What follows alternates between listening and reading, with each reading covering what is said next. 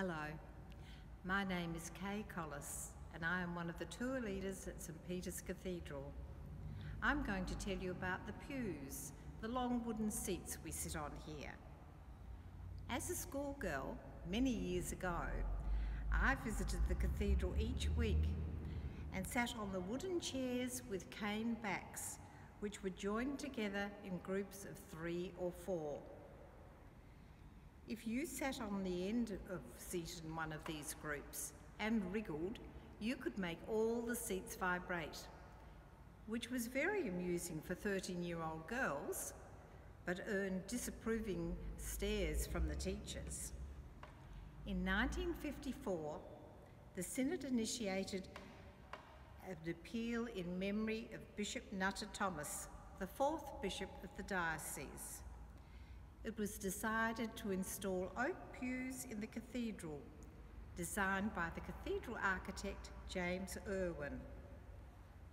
The first four were installed and blessed in 1960 with a historical plaque on the end which reads, The reseating of the cathedral was begun in 1960 by the people of the diocese to the glory of God and in memory of Arthur Nutter Thomas, 4th Bishop of Adelaide, 1906 to 1940.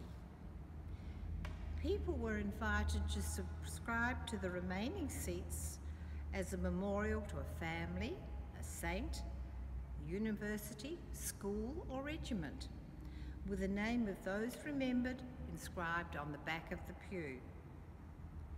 In addition, each pew has a wooden shield at each end, on which is painted a coat of arms. The drawings for these were prepared by the Right Reverend Thomas Reed, the bishop at the time, who was an expert in genealogy and heraldry.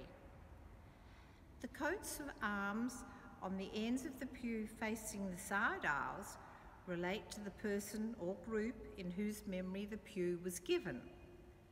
On the pulpit side of the central aisle, the coats of arms represent the Diocese of the Anglican Church of Australia, whilst the coats of arms on the pews on the lectern side are those of the Anglican Church around the world.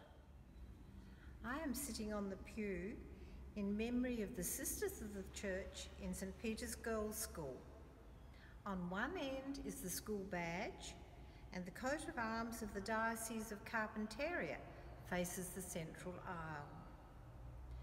When we sit in one of the cathedral memorial pews, it reminds us that we are remembering an individual or group associated with the cathedral, a member of the Church in Australia, and part of the worldwide Anglican Communion, and the whole company of God's family everywhere.